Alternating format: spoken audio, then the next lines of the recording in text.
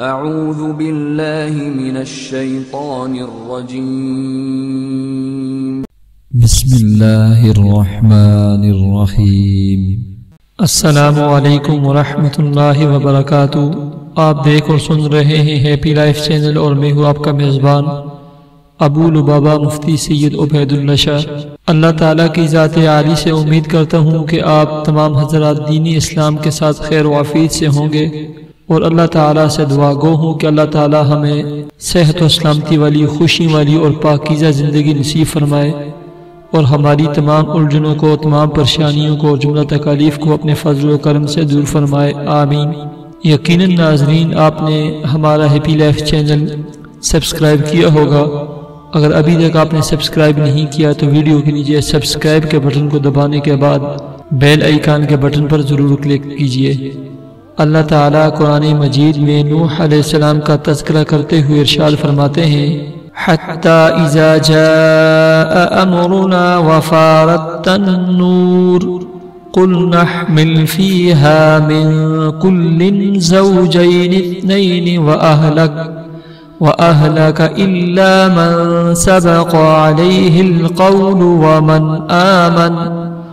وما آمن معه إلا قليل وقال اركبوا فيها وقال اركبوا فيها بسم الله مجريها ومرساها إن ربي لغفور رحيم آج ہم آپ کو ایک مختصر سا عمل اور وظیفہ بتلانے لگے ہیں۔ اگر آپ قرآن مجید کی یہ جو آیت ہے، بسم اللہ مجرہا و مرساہا، ان ربی لغفور الرحیم۔ اس کا ورد رکھیں، اس کو ہر وقت پڑھیں، بالخصوص صبح اور شام اس کو اکیس اکیس مرتبہ پڑھیں۔ تو ہر قسم کی بندش، رکاوٹ اور پریشانی اللہ کے فضل و کرم سے دور ہوگی۔ خوشحالی کے اور فراوانی کے دروازے کشادہ ہوں گے، دروازے کھلیں گے۔ ہر قسم کی بندش، چاہے رشتے کی بندش ہو، کاروبار کی بندش ہو، رزق کی بندش ہو، شادی بیاہ کی بندش ہو، تو یہ وظیفہ، یہ عمل آپ رکھیں۔ اور اگر بطور وظیفہ اپنا پڑھنا چاہتے ہیں، تو آپ اس کو صبح و شام ایک سو تیرہ مرتبہ آپ نے پڑھنا ہے، اکیس دن یا اکتالیس دن آپ نے پڑھنا ہے۔ ایک سو تیرہ مرتبہ صبح اور شام۔ آپ جب بھی کوئی کام شروع کرتے ہیں کاروبار شروع کرتے ہیں، کہیں رشتہ کرنا چاہتے ہیں، تو اس دوران اس عمل کو آپ جاری رکھیں۔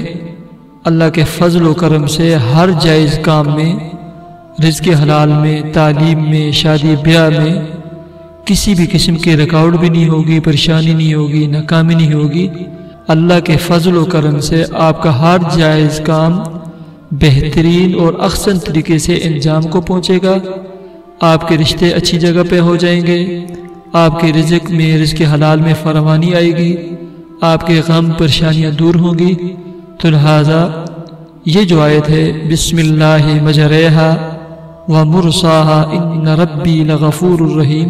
اسے آپ بطور ذکر کے پڑھیں، صبح اور شام پڑھیں، اکیس مرتبہ صبح، اکیس مرتبہ شام کو پڑھیں۔ اللہ تعالی ہماری تمام پریشانیوں اور الجھنوں کو اپنے فضل و کرم سے دور فرمائے. آمین.